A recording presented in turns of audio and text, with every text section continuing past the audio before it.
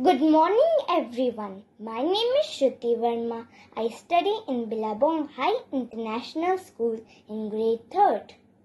I am going to present a beautiful poem before you. The title of my poem is Brighter World.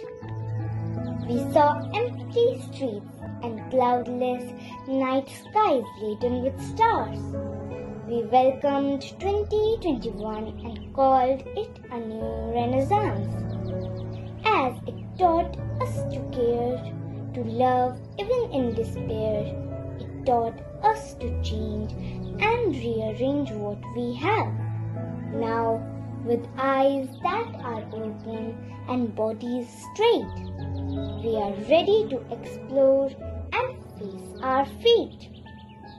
We are the world where man, no other man will scorn, where love will bless the earth and peace its path adorn, where smile dilutes the frown, compassion dissipates hate, empathy and respect create a better state, where technology connected all, giving this world a chance.